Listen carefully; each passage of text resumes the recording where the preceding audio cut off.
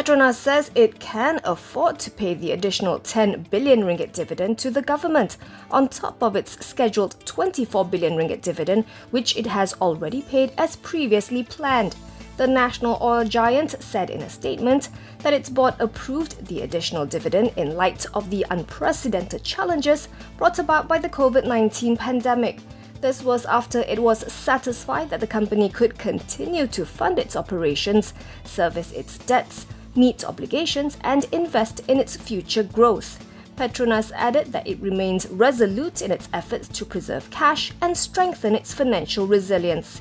In September, its president and group CEO Tengku Muhammad Taufik Tengku Aziz noted that the company would pay the government a dividend if it could afford to do so, owing to the need to preserve cash and liquidity. Petronas recorded a 21 billion ringgit loss for the second quarter of FY20, hit by a large asset impairment of 20.77 billion ringgit owing to the collapse in oil prices. It will pay the additional dividend by month end.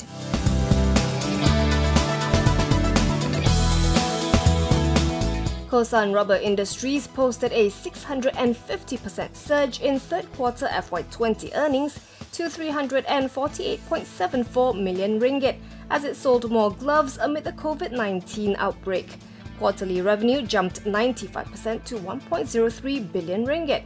In its filing with the bourse, Kossan said it saw improvements in all three of its divisions, namely the gloves, technical rubber products, and cleanroom business segments. Looking ahead, the group noted the exponential growth in demand for personal protective equipment and said demand continues to outstrip supply in its gloves division. The increase in average selling price has started to be reflected in the current quarter, and the group expects further significant upward price adjustments on a quarter on quarter basis in the fourth quarter of FY20. Meanwhile, its technical rubber products division is seen benefiting from the gradual uptick in economic activity and infrastructure spending domestically and regionally as it serves the infrastructure and automotive segment. Kossan said it is confident of another jump in 4Q results and expects FY20 to be an exceptional growth year for the group.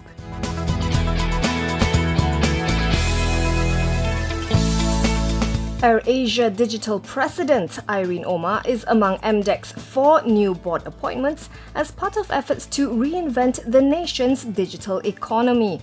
The others are Dr. Dhesi Baha Raja, co-founder of AI-powered dengue outbreak prediction platform AMI, Farouk Peter Lee, the Asia Market Operations GM for AXA Group, and Jaliluddin Abu Bakar, AHB International Director of Legal and Administration. In a statement today, MDEC Chairman Datuk Wira Dr. Rais Hussin Muhammad Arif said the additions to the agency's board will strengthen the depth and breadth of its expertise. He said the new board members will also empower MDEC in harnessing opportunities in the new normal, benefiting micro, small, and medium enterprises, gig workers, multinational companies, and the public sector alike. They will be working alongside MDEC CEO Surina Shukri to spearhead the agency's goal to reinvent its approach towards growth of digitally skilled Malaysians, digitally powered businesses, and digital investments to achieve the Shared Prosperity 2030 agenda.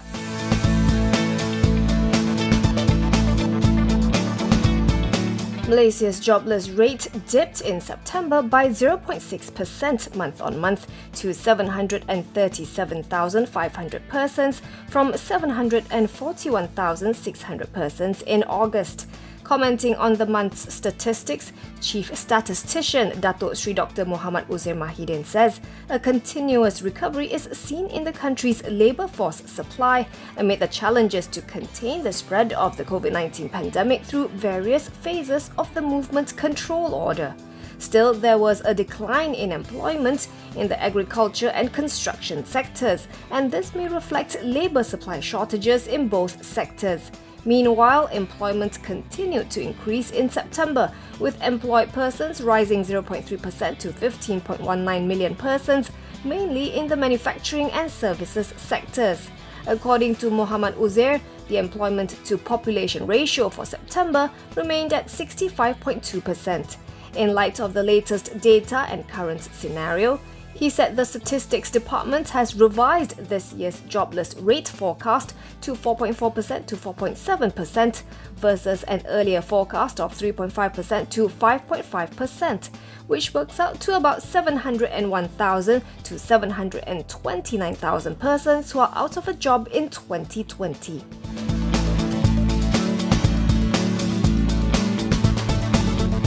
Malaysia's third quarter gross domestic product may contract by as much as 3% or grow by up to 1%, according to economists interviewed by TheEdgeMarkets.com.